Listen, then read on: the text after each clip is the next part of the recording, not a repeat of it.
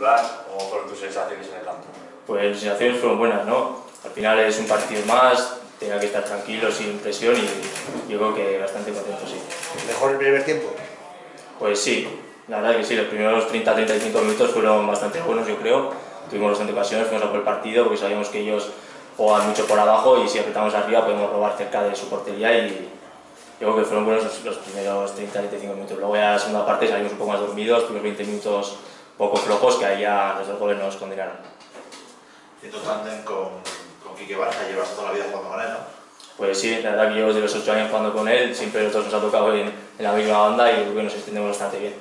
¿Qué supuso para ti lo de, lo de debutar? No sé, es un sueño que llevas persiguiendo mucho tiempo, ¿no? Pues sí, como ya te he dicho, yo desde los 8 años aquí, al final soy de aquí, soy de Pamplona y mi sueño es debutar en el Sadar junto a esta afición que la verdad que fue increíble. ¿Qué se siente ahí abajo? Es una cosa que es indescriptible, la verdad. Es una sensación muy, muy bonita. Me imagino que después del partido unas cuantas felicitaciones, ¿no? Deberías. Sí, la verdad que sí.